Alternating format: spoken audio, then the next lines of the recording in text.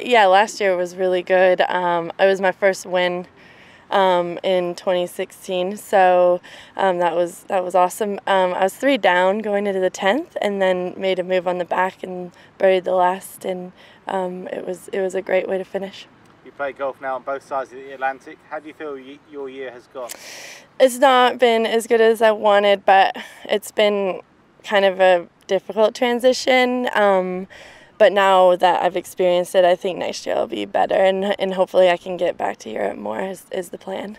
And coming into this week, how do you feel your game is at the moment? Um, I've been coming into form a little bit in the um, like in the last couple months, so um, I'm feeling really happy to be back and really comfortable, and it's really great to see everybody again. So I think that's gonna sort of um, that's gonna make my golf better, I'm sure. Playing the practice round out here today, did it bring back any memories? Did you sort of regain your confidence a little bit and yeah. tomorrow. Yeah for sure. Like i'm obviously um, i remember almost every shot on the back nine so that was fun to sort of you know relive that and then up birdied 18 again today so that was good.